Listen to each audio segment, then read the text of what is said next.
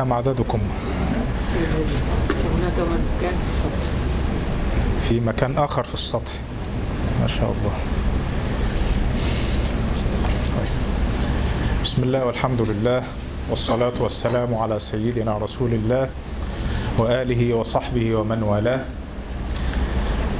أما بعد فنبدأ بحول الله وقوته مستعينين به. في شرح كتاب نزهة النظر في توضيح نخبة الفكر للإمام الحافظ أحمد بن علي العسقلاني بن حجر. والحافظ ابن حجر رحمه الله تعالى كان حافظ وقته في كثير من العلوم ومن أجلها علم الحديث ومصطلح الحديث. وله تصانيف كثيرة وعديدة سارت بها الركبان وتهاداها الملوك والكبراء والعلماء على مر الزمان. ومن أجل هذه التصانيف كما تعرفون فتح الباري في شرح صحيح البخاري. وهو من أفضل الشروح على صحيح البخاري رحمه الله تعالى. حتى أن بعض العلماء عندما سئل هل هناك أفضل من شرح فتح الباري للصحيح البخاري فقال له لا هجرة بعد الفتح.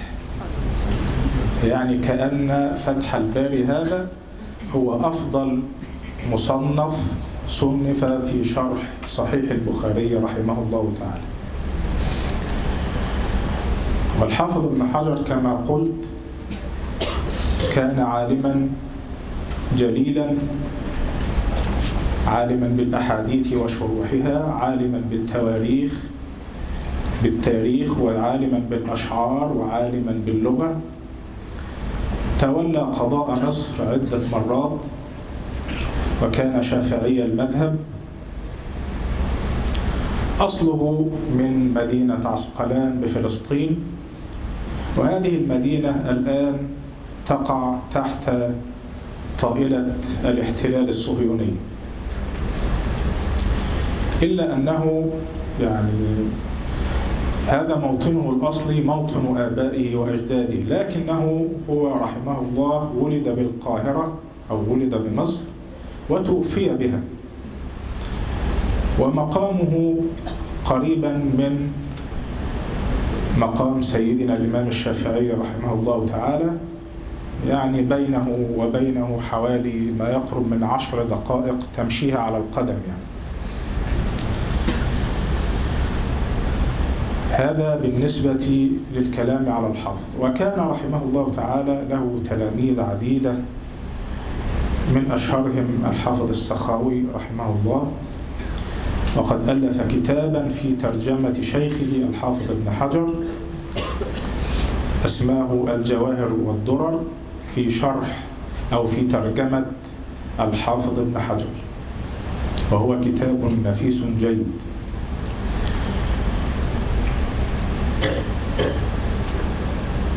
مما ألف رحمه الله تعالى الكتاب الذي بين أيدينا وهو المسمى بنزهة النظر في شرح أو في توضيح نخبة الفكر. يقول المصنف رحمه الله تعالى ونفعنا بعلومه في الدارين آمين. بسم الله الرحمن الرحيم. الحمد لله الذي لم يزل عليما قديرا. بدأ المصنف رحمه الله تعالى كعادة المصنفين والعلماء في بداية تصانيفهم بالبسملة. والبسملة كلمة البسملة كما تعرفون هي تسمى نحت فنأتي إلى كلمة أو إلى عبارة ونأخذ منها حروفا معينة ونكون منها كلمة واحدة. فنقول البسملة أي قولنا بسم الله الرحمن الرحيم. الحولقة أي لا حول ولا قوة إلا بالله. طيب هل هذه أو هذا النحت توقيفي أم قياسي؟ يعني ممكن نقيس عليه ولا هو بيبقى توقيفي من الشرع أو من اللغة؟ قال لا ده توقيفي. الراجح أنه توقيفي.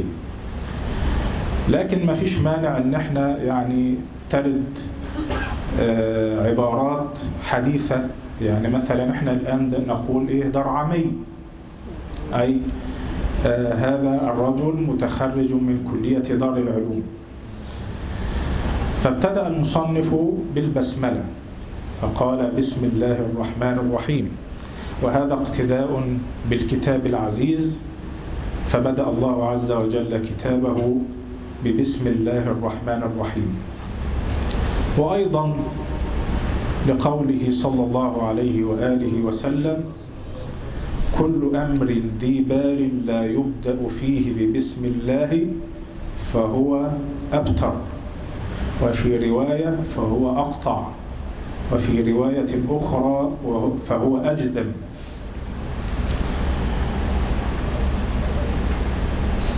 وهناك أحاديث أخرى تقول أن البداية تكون بالحمدلة. وورد فيها أيضا حديث صحيح كل أمر ذي بال لا يبدأ فيه بحمد الله فهو أقطع. طيب إذا بدأنا بالبسملة فيبقى إحنا لم نبدأ بالحمدلة فكيف نجمع بين هذا وذاك؟ قال لك هناك أو الابتداء نوعان؟ ابتداء حقيقي وابتداء إضافي. يعني إيه الكلام ده؟ قال لك الابتداء الحقيقي ينظر فيه إلى ما قبله. فيبقى لا قبله شيء. والابتداء الإضافي ينظر فيه إلى ما بعده. فده كلام العلماء في الجمع بين البسملة والحمدلة.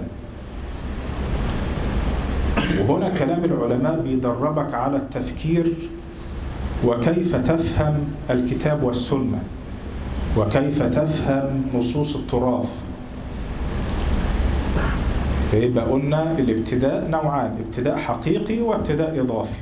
الابتداء الحقيقي ينظر فيه إلى ما قبله والابتداء الإضافي ينظر فيه إلى ما بعده طيب هل ممكن يأتي مصنف من المصنفين ولا يبدأ بالبسملة والحمدلة؟ قال لك آه ممكن.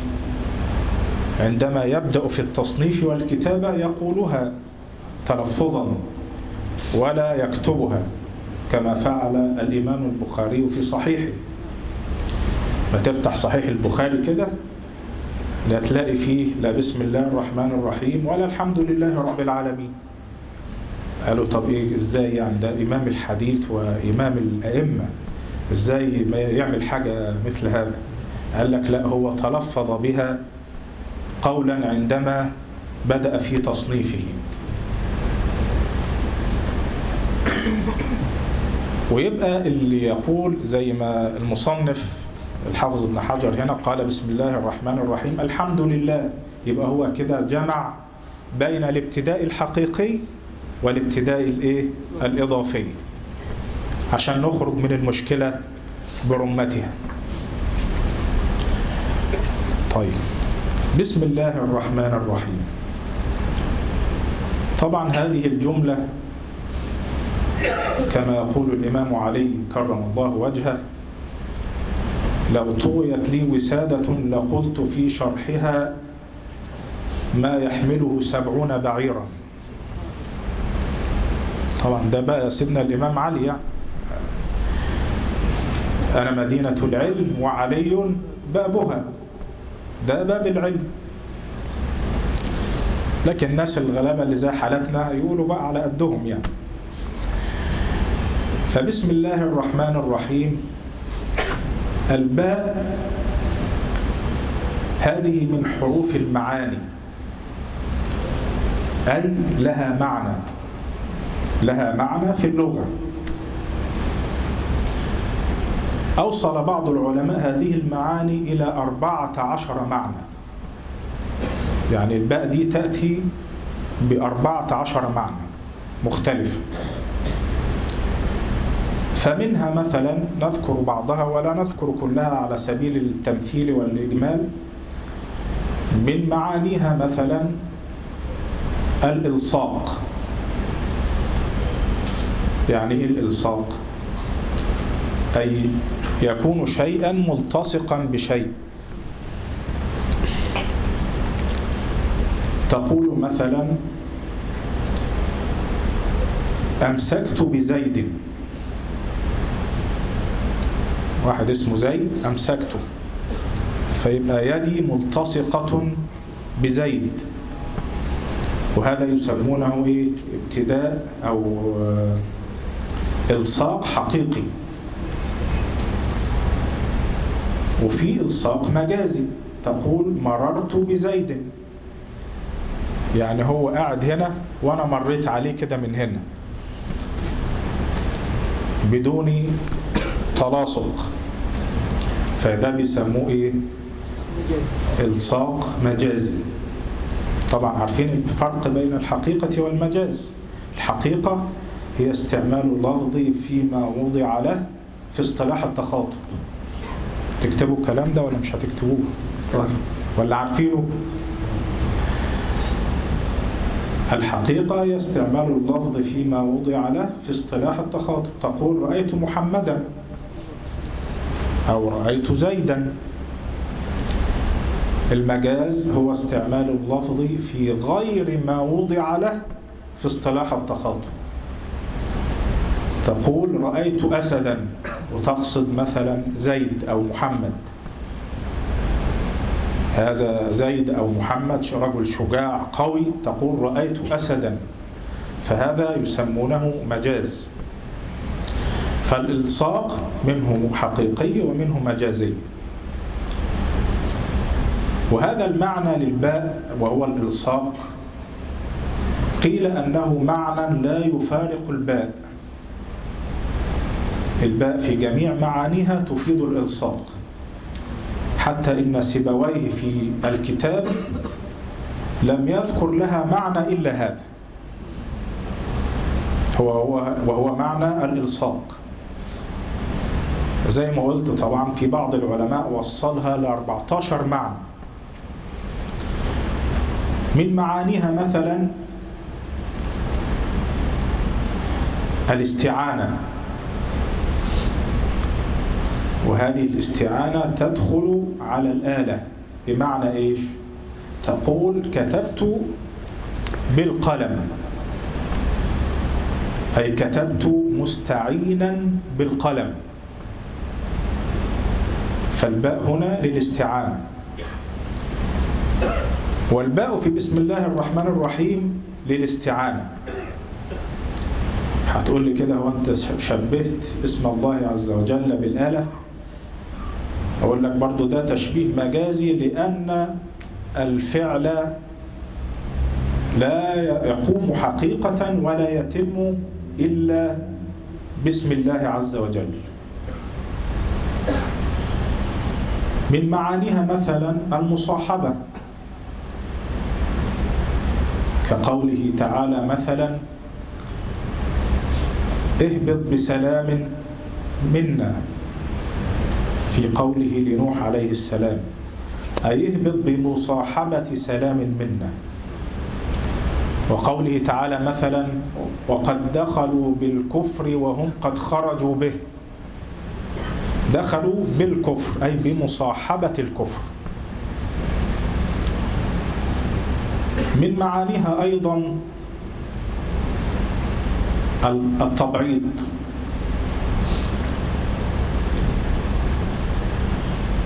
كقوله عز وجل عينا يشرب بها عباد الله أي يشربون من بعضها.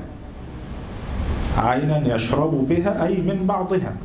فالباء هنا للتبعيض.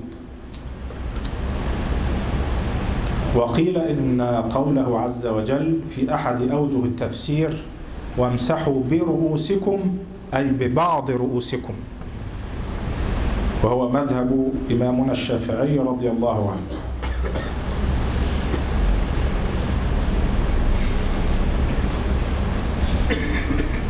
فاحنا قلنا مثلا من معانيها الإلصاق الاستعانة المصاحبة. من معانيها مثلا السببية كقوله عز وجل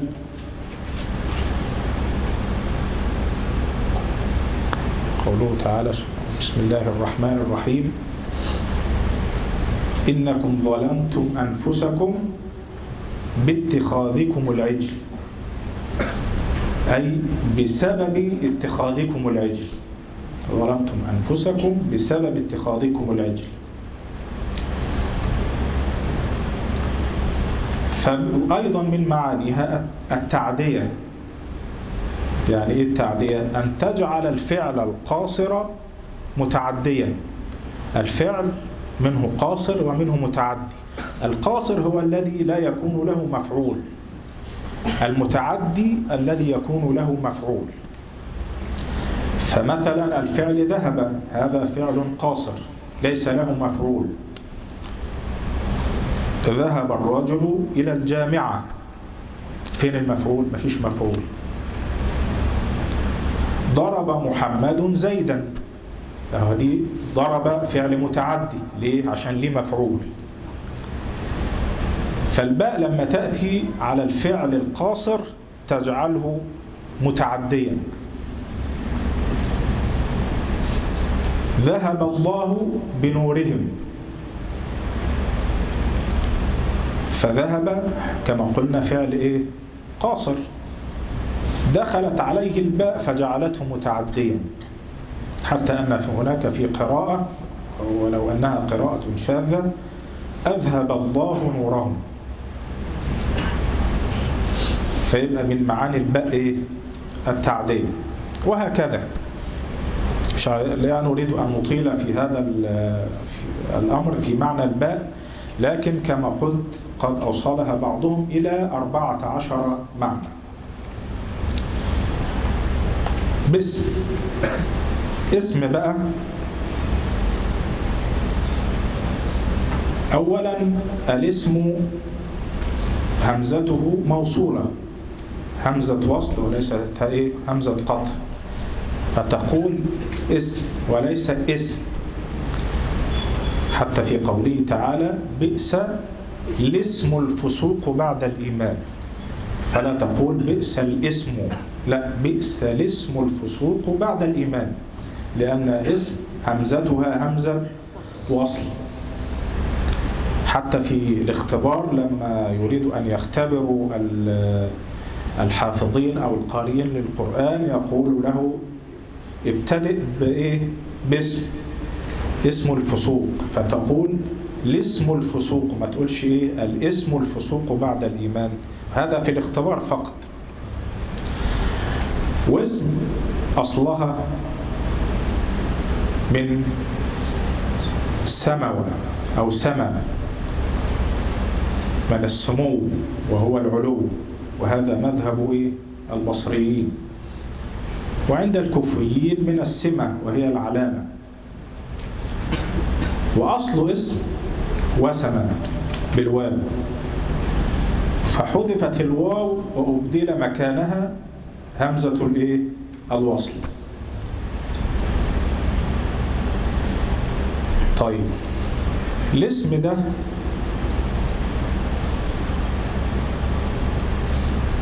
هل هو عين المسمى ولا غير المسمى؟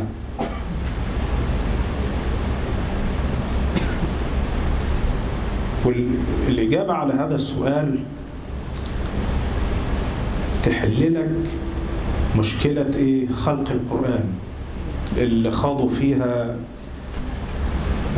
كثيرا وأوذي بسببها كثير من العلماء كالإمام أحمد وغيره. الاسم ده هو هو ذات المسمى ولا غير المسمى. فاكتب القاعدة دي. الاسم إن أريد به اللفظ فهو غير المسمى. الاسم إن أريد به اللفظ اللفظ اللي هو طالع من بق ده فهو غير المسمى. وإن أريد به الذات أو المعنى فهو عين المسمى.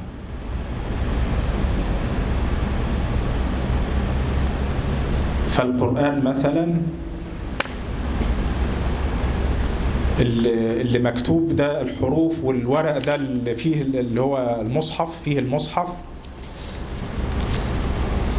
هل هو مخلوق ولا لأ؟ مخلوق. ده ورق. وحروف كده مكتوبة بالطباعة. ولا كلام الله القديم. لا يبقى مش مخلوق. فالقاعدة دي تحل لك إشكال خلق القرآن وانت بتقرأ كده تفهم. يبقى إيه؟ اللفظ أو الاسم إن أريد به اللفظ فهو غير المسمى وإن أريد به الذات أو المعنى فهو إيه؟ عين المسمى. طيب. بس إحنا إيه؟ بنحذف الألف ليه؟ مش هي اسم ألف سين ميم والباء قبليها.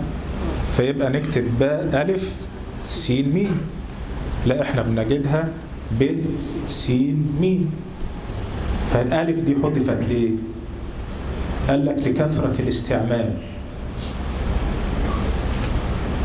لكثرة الاستعمال. والعرب كانت هذا دأبها. إذا أكثر من شيء يحذفه تسهيلا. فحذفوها لكثرة إيه؟ الاستعمال. طيب الله بسم الله. الله لفظ الجلالة. بعض العلماء قال لك لفظ الجلالة ده الله هو علم على ذاته المخصوصة سبحانه وتعالى. علم على الذات مش صفة. طب ليه؟ قال لك لأنك لا تستطيع أن تقول لمن قال أشهد أن لا إله إلا الله. ما يبقاش ده اسمه توحيد.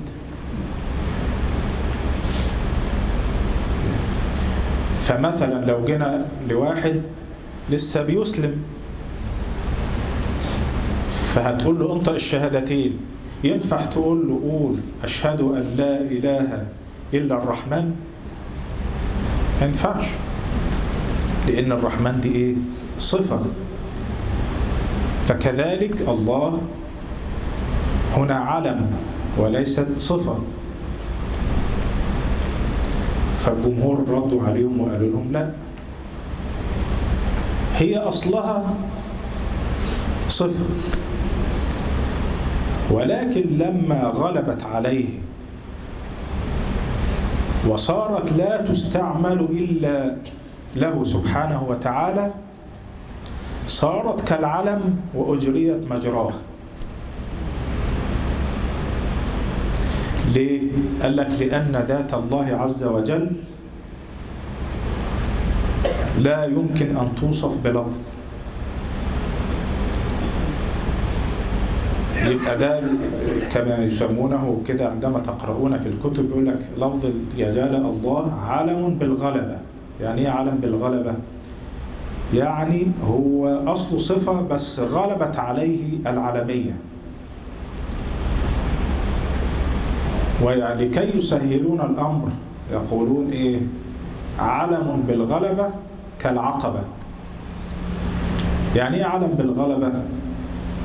علم بالغلبة أن يكون لللفظ معنى بحسب الوضع وضع اللغة ثم يصير له معنى آخر بحسب الاستعمال. يعني إيه الكلام ده؟ زي ما هو ضرب مثال بالعقبة. العقبة في اللغة هي إيه؟ المانع أو الحاجز من فعل شيء. تقول إيه؟ قابلتني عقبة في فعل هذا الأمر. ثم صارت علما على مدينة العقبة اللي هي موجودة فين؟ في الأردن. آه.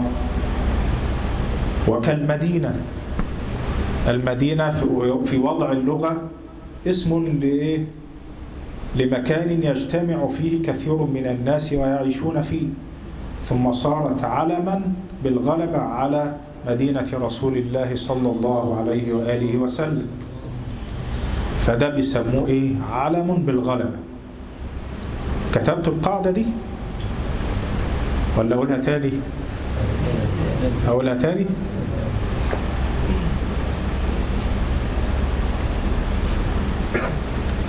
اللفظ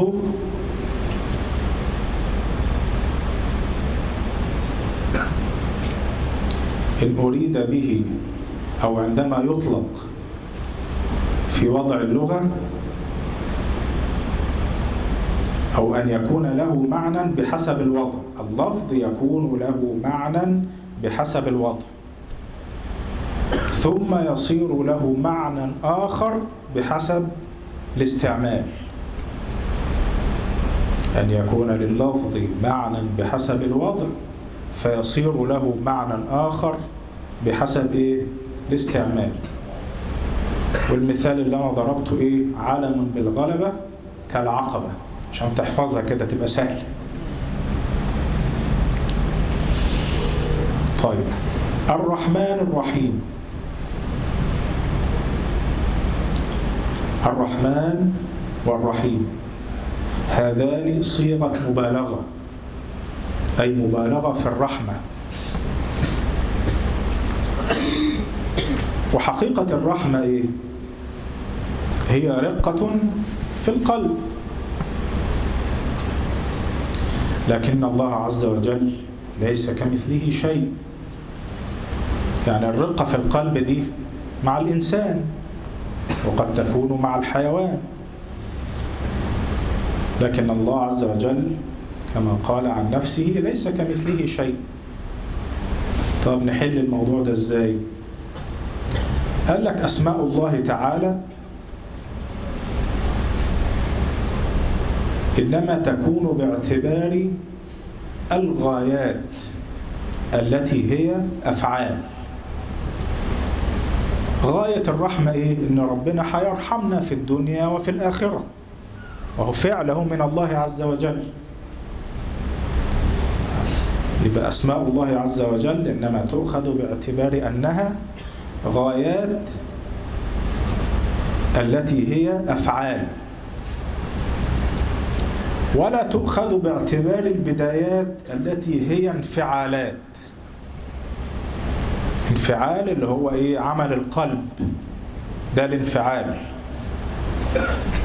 والله عز وجل منزه عن ذلك. لكن إحنا بننظر في اللفظ أو في الاسم باعتبار إيه؟ المآل باعتبار غاياته التي هي فعل ينتج عنها فعل وهو الرحمة أن الله عز وجل يرحم عباده سواء في الدنيا أو في الآخرة أو فيهما. وقيل طبعا أن الرحم الرحمن خاص بالدنيا والرحيم خاص بالآخرة. وقيل هما معا حتى في دعاء الإمام علي رحمن الدنيا والآخرة ورحيمهما تعطيهما من تشاء وتمنع منهما من تشاء. يبقى قيل هذا وقيل هذا.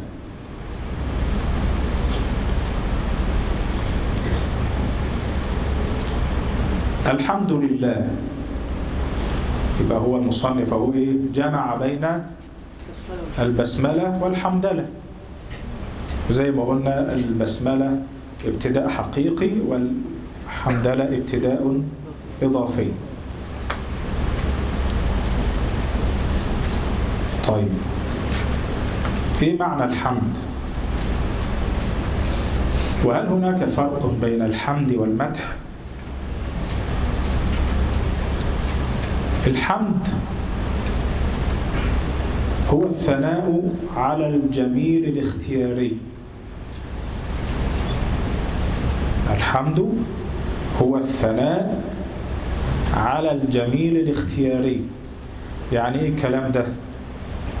يعني الجميل الذي يكون للإنسان فيه اختيار. تقول مثلا حمدت زيدا على علمه. فهو له في اختيار له يعني هو اختار أن يكون عالما وألا يكون جاهلا. حمدت زيدا على كرمه. هو له فيه اختيار أن يكون كريما أو أن يكون بخيلا. المدح هو الثناء مطلقا. الثناء مطلق الثناء فتقول مدحت زيدا على حسنه. فهو حسن ده أو جماله ليس له فيه اختيار. هذه خلقة الله عز وجل. فيبقى هذا هو الفرق بين إيه؟ الحمد والمدح. الحمد والمدح. طب والشكر؟ إيه الفرق بينه وبين الحمد والمدح؟ قال لك الشكر هو مقابلة النعمة مقابلة النعمة قولا وعملا واعتقادا. مقابلة النعمة قولا وعملا واعتقادا. واحد أسدى إليك معروف فتشكره.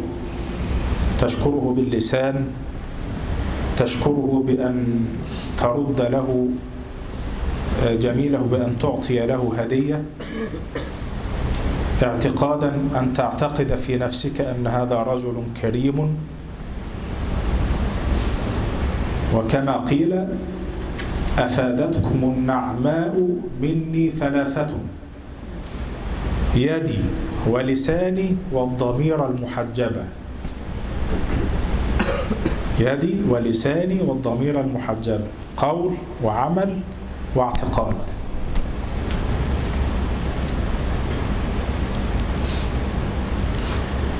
الحمد لله الذي لم يزل عليما قديرا. سبحانه وتعالى. وعليم وقدير هذه صيغة مبالغة أيضا. وصلى الله على سيدنا محمد الذي أرسله إلى الناس بشيرا ونذيرا. صلى الله على سيدنا محمد الصلاة من الله عز وجل. الدعاء.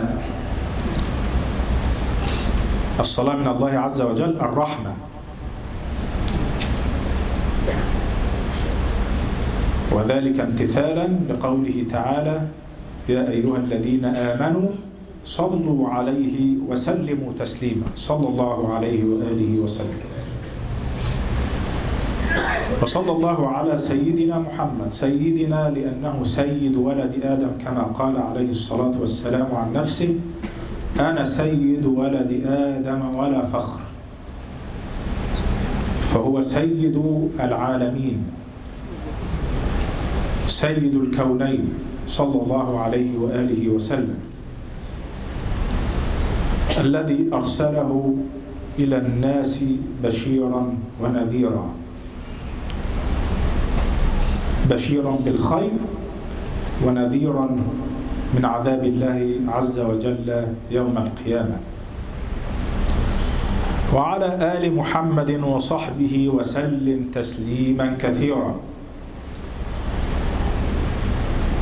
آل محمد صلى الله عليه وآله وسلم قيل هم أولاد جعفر والعباس وعلي وعقيل. أولاد العباس وجعفر وعلي وعقيل. يقال لهم آل البيت. وقيل معهم يدخل أيضا أزواج النبي صلى الله عليه وسلم لقوله عز وجل إنما يريد الله ليذهب عنكم الرجس أهل البيت ويطهركم تطهيرا. وقيل كل مؤمن تقي. كما ورد عند الطبراني في الأوسط من حديث أنس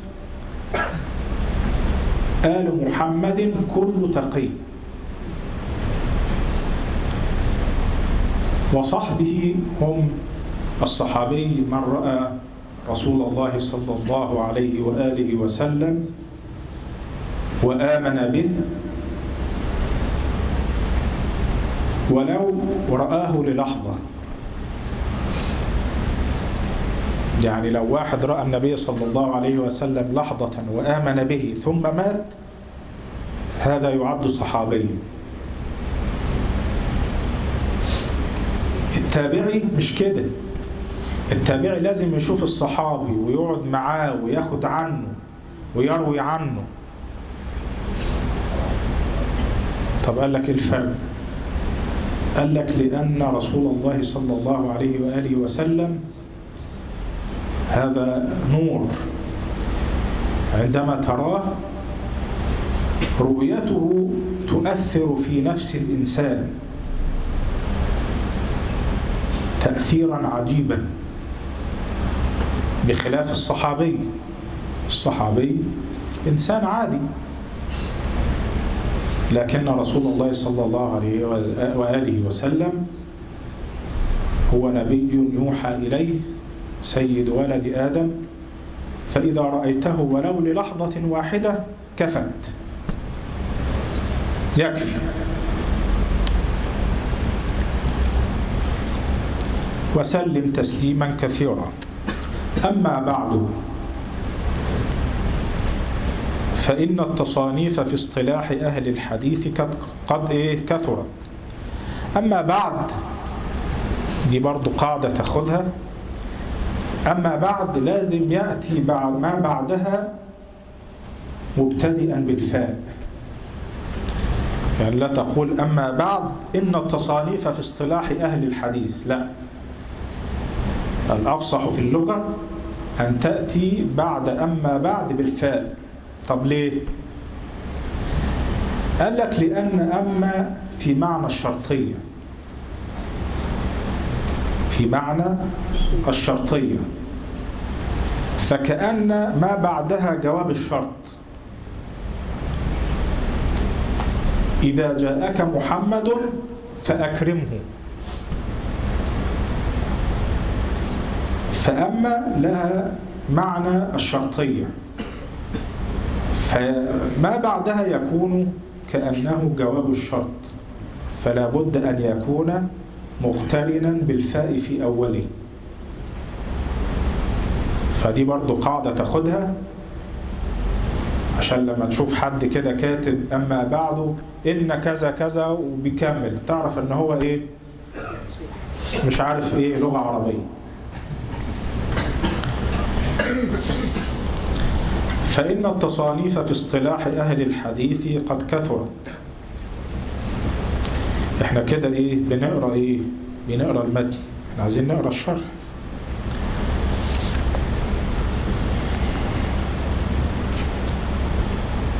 فإن التصانيف في اصطلاح أهل الحديث قد كثرت للأئمة في القديم والحديث.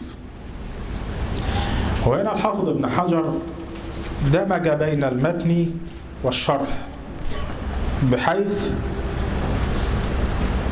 صار كأنهما كتاب واحد.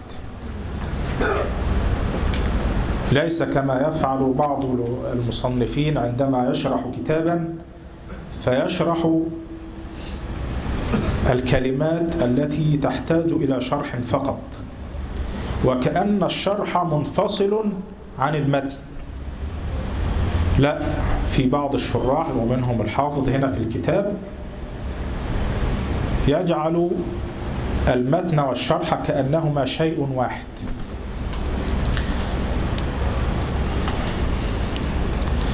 فإن التصانيف في اصطلاح أهل الحديث قد كثرت للأئمة في القديم والحديث. فمن أول من صنف في ذلك أي في مصطلح أهل الحديث القاضي أبو محمد الرام هرمزي الميم مفتوحة والهاء مضمومة. أبو محمد الرام هرمزي في كتابه المحدث الفاصل وهذا اسم الكتاب لكنه لم يستوعب. يعني لم يأتي بجميع مسائل هذا العلم في كتابه. فاته أشياء. والحاكم أبو عبد الله النيسابوري اللي هو صاحب إيه؟ المستدرك. لكنه لم يهذب ولم يرتب أو لم يهذب ولم يرتب. وتلاه أي جاء بعدهما أبو نعيم الأصبهاني. وتقول الأصبهاني والأصفهاني. فعمل, فعمل على كتابه مستخرجا. أي يستدرك فيه على كتاب أبو عبد الله الحاكم.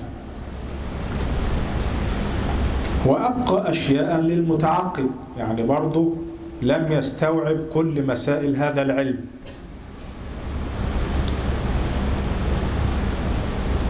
ثم جاء بعدهم الخطيب أبو بكر البغدادي. فصنف في قوانين الرواية كتابا سماه الكفاية. في آداب رواية الحديث أو في قوانينها كتابا سماه إيه؟ الكفاية. وفي آدابها كتابا سماه الجامع لآداب الشيخ والسامع. وقل من فنون وقل فن من فنون الحديث إلا وقد صنف فيه كتابا مفردا. يعني ما فيش فن من فنون الحديث وعلم مصطلح الحديث إلا وقد ألف فيه الحافظ أبو بكر البغدادي كتابا ومصنفا. فكان كما قال الحافظ أبو بكر ابن نقطة واسمه محمد ابن عبد الغني كل من أنصف أي قال الحق علم أن المحدثين بعد الخطيب أي بعد الخطيب البغدادي عيال على كتبه.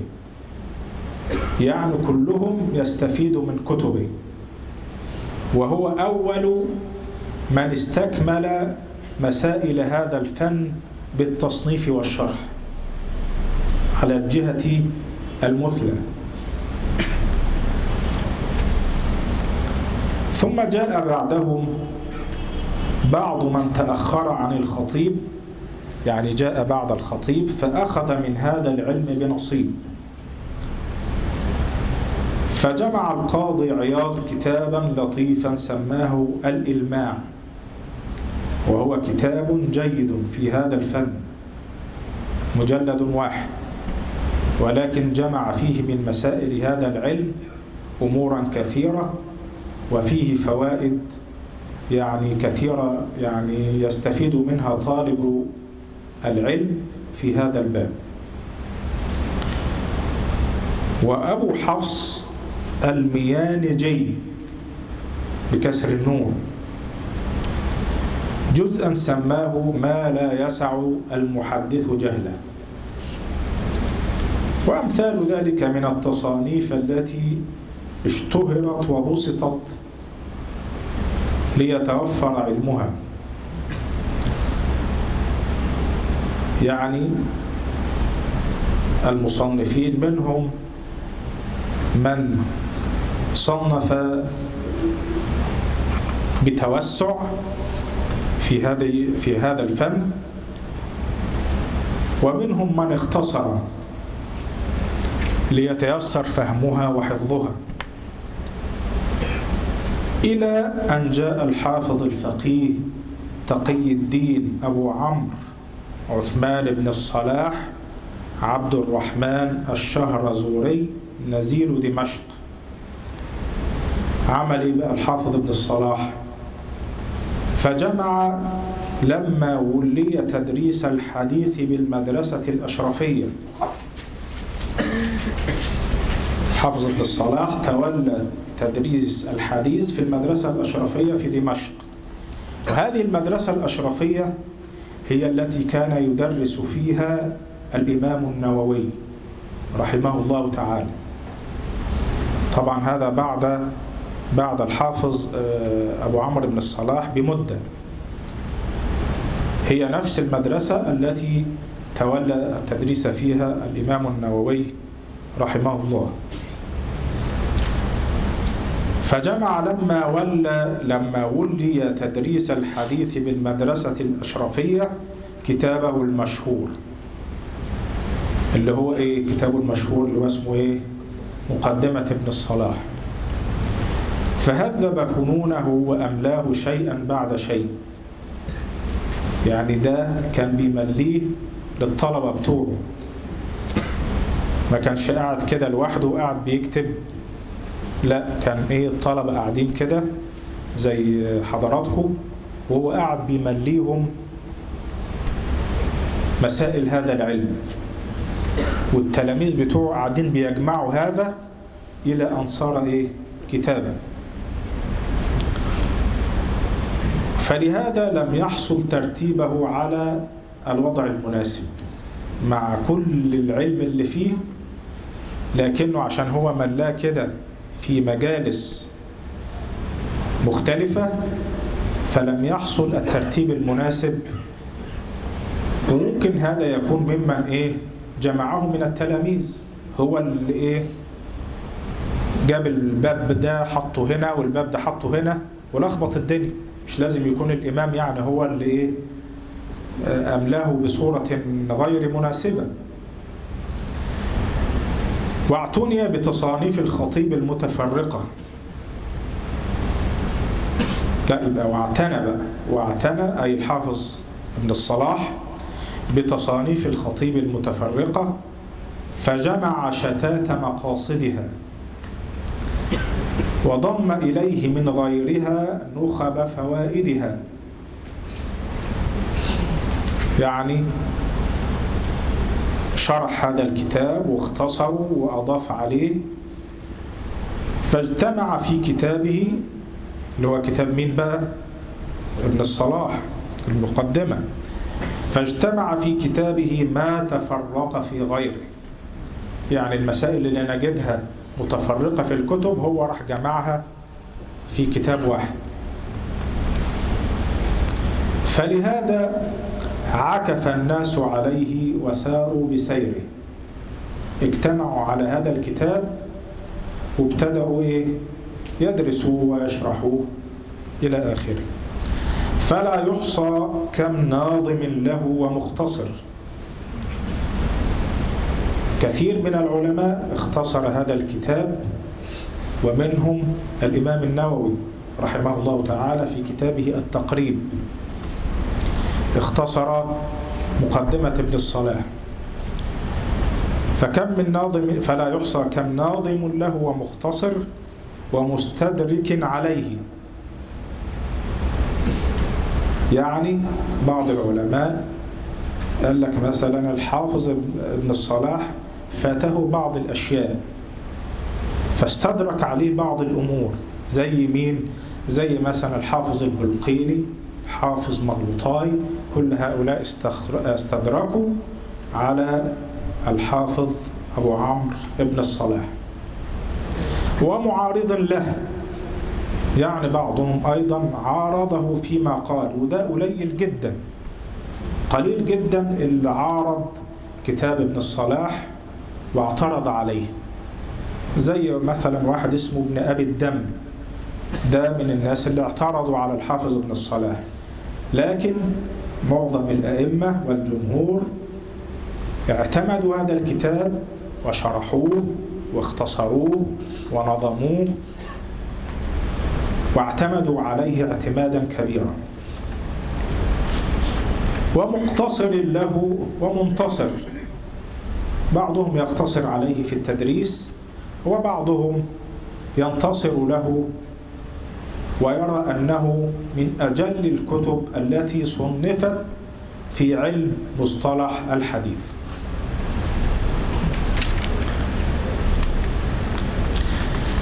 يقول الحافظ فسألني بعض الإخوان أن ألخص لهم المهم من ذلك. ده مين اللي بيتكلم بقى الحافظ ابن حجر. بيقول فسألني بعض الإخوان. قيل إن اللي سأله هو الإمام عز الدين بن جماعة.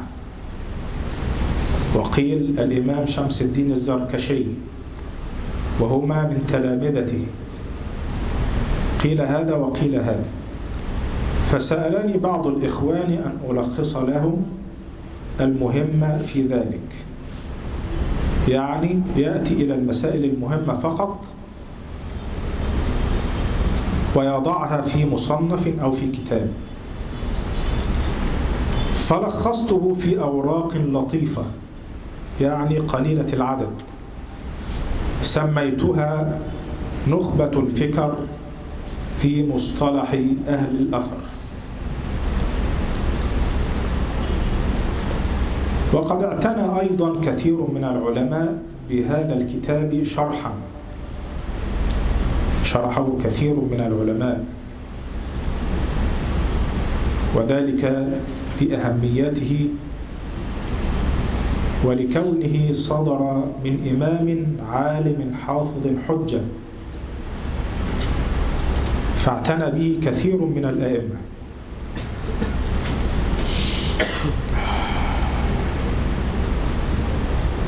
سميتها نخبة الفكر نخبة الفكر في مصطلح أهل الأثر. على ترتيب ابتكرته وسبيل انتهجته. ترتيب ابتكرته يعني إيه؟ يعني هذا الترتيب من وضع واختراع الحافظ ابن حجر. هو لإلمامه بهذا العلم وسعة اطلاعه يعرف كأنه كأن خريطة هذا العلم أمامه. فوضع ترتيبا لم يسبقه إليه غيره في هذا الكتاب ترتيب لهذا العلم. والحافظ ابن حجر كان يعني آية في الابتكار والاستحضار. كل من يقرأ كتبه يرى أنه عندما يأتي مثلا لحديث من الأحاديث يأتي بجميع طرقه في كتب مختلفة كثيرة بحيث أنك لو قدرت لو جئت هذا اليوم لتجمع طرق هذا الحديث عن طريق الكمبيوتر مش هتقدر تجمعها زي ما هو كان بيجمعها. وذلك لسعة علمه واطلاعه الشديد. ونتعجب من هذا. عندما تقرأ مثلا في فتح الباري أو أو غيره من الكتب عندما يأتي بحديث يأتي لك بجميع طرقه من جميع الكتب بطريقة عجيبة فريدة.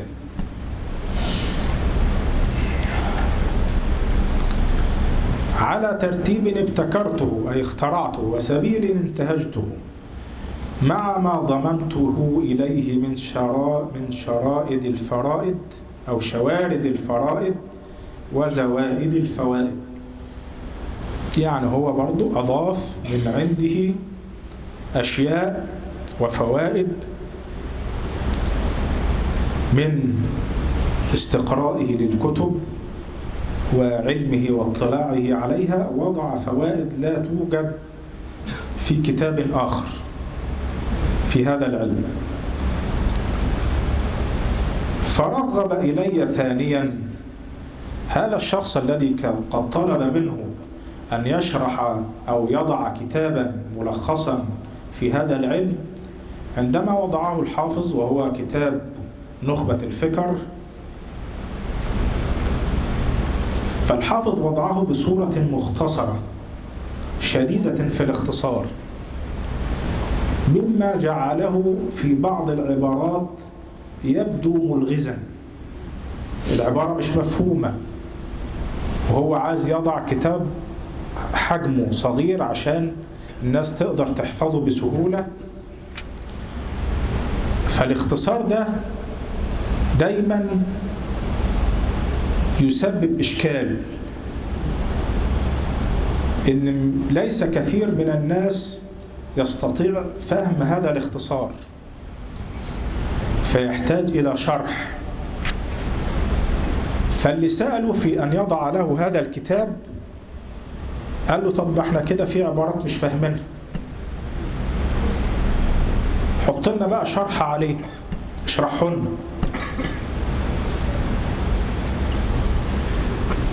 فسألني بعض الإخوان إحنا إن فرغب إلي ثانيا أن أضع عليها شرحا يحل رموزها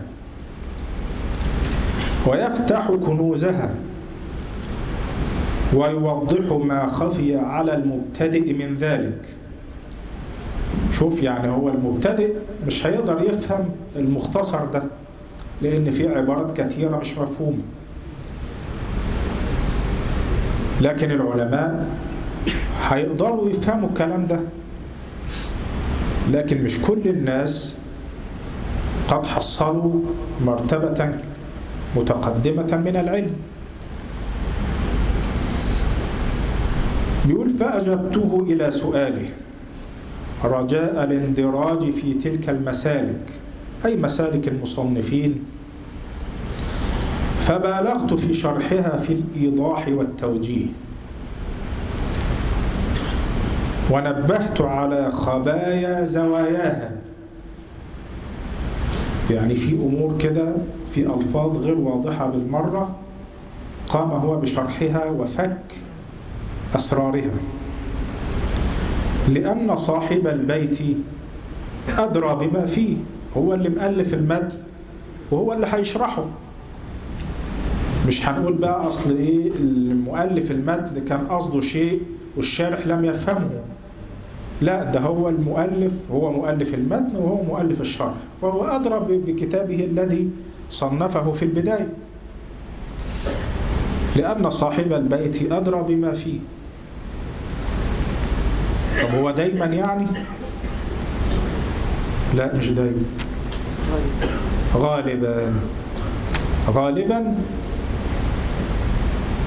شارح الكتاب بيبقى هو أفضل يعني شارح المتن هو أفضل إيه؟ من شرحه. إذا كان الشارح والمؤلف للمتن واحدا. فبيقول لك بقى إيه؟ فكم من شارح أظهر من المعاني؟ كم من شارح أظهر من المعاني؟ ما لم يخطر ببال صاحب المباني.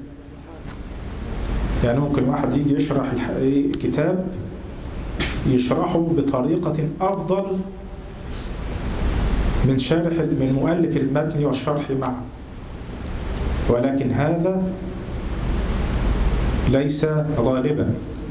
فالأغلب هو أن شارح المتن إذا كان هو مؤلفه يكون أقدر على شرحه من غيره.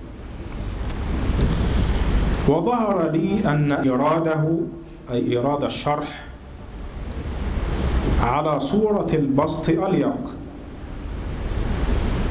يبقى إراده هنا المقصود بها إيه؟ الشرح الهاء عائدة على إيه؟ على الشرح مش على المد ودمجها ضمن توضيحها أوفق يبقى دمجها دي عايدة على إيه؟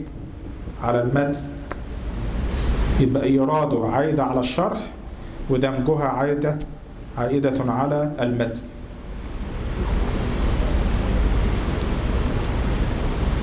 فبعض الناس مثلا يقول لك إيه طب هنا الضمير اختلف. يعني هو الضمير هنا في الهاء هنا عايدة على المتن والهاء هنا عايدة على الشرح. فقال لك ده ما فيش مشكلة إذا كانت هناك قرينة تدل على هذا. وذلك مثل قوله تعالى وأوحينا إلى أم موسى أن اقذفيه في التابوت فاقذفيه في اليم فاقذفيه الأولى دي إيه؟ عايدة على مين؟ على سيدنا موسى فاقذفيه في التابوت يعني حطيه في التابوت فاقذفيه في اليم فاقذفيه الثانية دي عايدة على مين؟ على التابوت. يبقى الهاء الأولانية فاقذفيه عادة على سيدنا موسى والهاء الثانية عايدة على التابوت. فما فيهاش مشكلة إذا كانت هناك قرينة تدل إيه؟ على هذا. فسلكت هذه الطريق القليلة المسالك. والطريق ده مذكر ولا مؤنث؟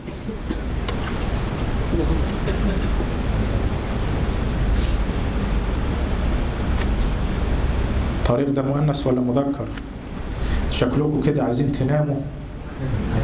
والشيخ عمرو إيه؟ اجهدكم فالطريق تذكر وتؤنث لكن الأفصح فيها التأنيث. وكذلك كلمة السبيل. السبيل بمعنى الطريق برضه تذكر وتؤنث لكن الأفصح فيها التأنيث. قل هذه سبيلي أدعو إلى الله على بصيرة أنا ومن اتبعني. ما قالش إيه؟ قل هذا سبيلي. لا قل هذه سبيلي. فسلكت هذه الطريق القليلة المسالك. فأقول طالبا من الله التوفيق فيما هنالك. ودي كانت عادة المصنفين إن هم إيه في خطبة الكتاب يأتون إيه بالسجع وموافقة نهاية الكلمات مع بعضها وإذا قلنا طبعا إن الحافظ ابن حجر كان أيضا له باع في العربية وكان راويا للشعر فهو أولى الناس بهذا. الخبر عند علماء هذا الفن مرادف للحديث يبقى هو كده ابتدى إيه في الكلام عن مصطلح الحديث نكمل ولا نبتدي بقى الشرح ده في الجلسة القادمة إن شاء الله بقى لنا قد إيه؟ إحنا بادئين من الساعة كام؟ السابعة والنصف. السابعة والنصف ولا الثامنة؟ الثامنة. السابعة ولا الثامنة؟ السابعة والنصف. طيب يبقى لنا ساعة. وأنتوا طبعا شكلكم كده إيه بتاخدوا يعني إيه عمالين يدوكوا من الصبح دروس ومحاضرات. فأنا بقى جاي قدري في في الآخر. فإيه شكلكم كده في بعض الناس أنا شايفها إيه عمالة بتنام. فيعني نبتدئ في شرح مصطلح الحديث من المسائل المتعلقة بالمصطلح في الجلسة القادمة. حتى إيه لا ينام الناس منا ويبقى إيه كله كده مستيقظ شيخ نظام بعت لهم قهوة عشان بس يفوق معانا كده. سبحانك اللهم وبحمدك أشهد أن لا إله إلا أنت أستغفرك وأتوب إليك. في سؤال؟ تفضل.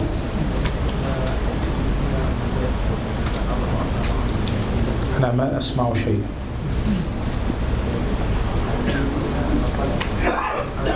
طب هل تسمع منه وتقول لي؟ في أي كتاب؟ في أي كتاب نطلع 14 معاني للباء آه في أي كتاب؟ مغني اللبيب لابن هشام.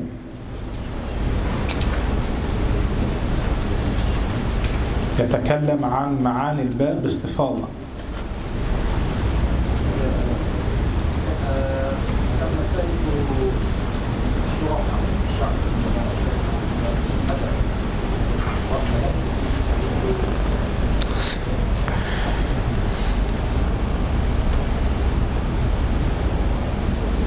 كما قال ابن حجر سلكت هذه الطريقة لا القليل من المسائل يعني كانه يدل على بناء يعني الشرع لا ما ما أسمع وما أفهم. طب حد يبلغ؟ حد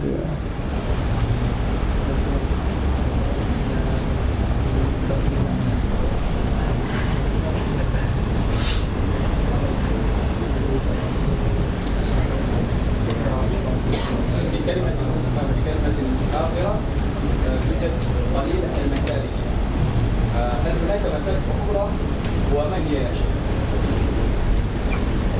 كمسائل الشرع سلكت هذه الطريقة القليلة المسالك هو في بكم سطر كده بيقول إيه؟ على ترتيب إيه؟ ابتكرته. أي هذا الطريق أو هذه الطريقة في التصنيف في تصنيف مصطلح الحديث طريقة ابتكرها الحافظ ابن حجر. عندما تأتي إلى أي كتاب في المصطلح قبل الحافظ ابن حجر تلاقي الترتيب مختلف.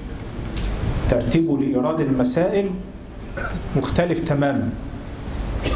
الحافظ ابن حجر زي ما قلت لكم عشان هو إيه خريطة العلم متمثلة أمامه. فابتكر طريقة جديدة في تصنيف هذا العلم وترتيبه. قل من سار عليها أو قل من آه، ذكرها. حتى بعد الحافظ ابن حجر يعني بعد الحافظ بعد الحافظ ابن حجر لم يأتي أي إنسان بطريقة جديدة في تصنيف علوم الحديث كالحافظ ابن حجر واضح؟ تمام أي سؤال آخر؟ القائل بيقول اللفظ يكون له معنى حسب الوضع فيسير له معنى آخر بسبب إيه؟ الاستعمال الاستعمال يعني إيه؟ يكثر استعمال آه، هذا اللفظ بطريقة غير الطريقة التي وضعها اللغة وضعتها اللغة لهذا اللفظ. زي ما قلنا إيه العقبة والمدينة لها وضع في اللغة غير الوضع اللي إحنا بنستعمله. واضح؟ يعني لما تقول إيه ذهبت إلى العقبة الناس هتفهم إن إنك إيه رحت الأردن. مش هتفهم انك رحت في مكان فيه عقبة. آه أو في مشاكل. واضح؟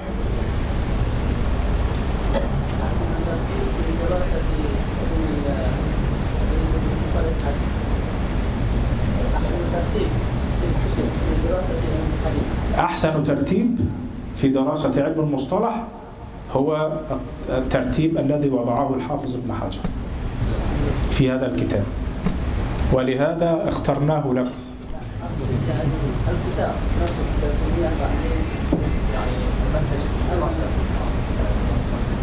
لا مش, سامع. مرة أخرى. أنت أنت صوتك عالي. اسمع وقل.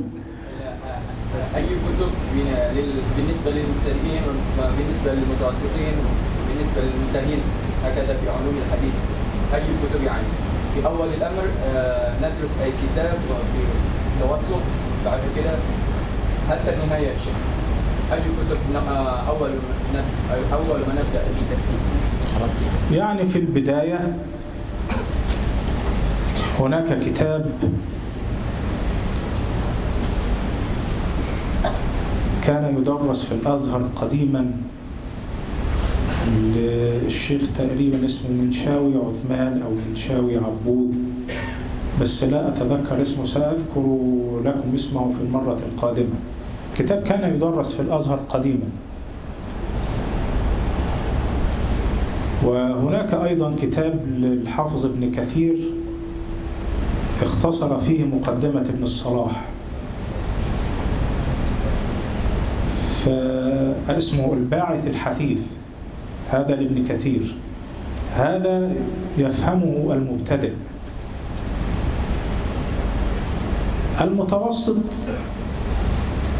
يدرس نخبة الفكر أو نزهة النظر وشروحها.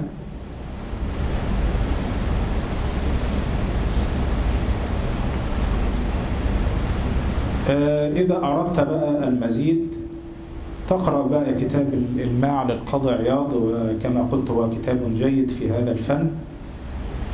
آه، تقرأ بقى بقية الكتب وباقي شروح آه، مقدمة ابن الصلاح. مقدمة ابن الصلاح زي ما ذكرت لها شروح كثيرة جدا. تقرأ هذه الشروح لمن إيه؟ أراد بقى إيه؟ أن يترقى في هذا العلم. وقد وصل إلى يعني مرحلة يستطيع أن يفهم فيها كلام الأئمة يبقى يقرأ شروح ابن الصلاح شروح المقدمة يعني. في سؤال آخر ال- القوانين الحديثية المذكورة في هذا الكتاب هل هي تعتبر كعمدة أو كالمعتمد من مصطلح أهل الحديث؟ نعم كل الشراح وكل المصنفين اعتمدوا هذا الكتاب كل ما فيه معتمد فإذا ما كانش يعني كتاب الحافظ ابن حجر هو المعتمد هيبقى مين بقى. في سؤال آخر؟ طيب سبحانك اللهم وبحمدك أشهد أن لا إله إلا أنت أستغفرك وأتوب إليك. السلام عليكم ورحمة الله وبركاته.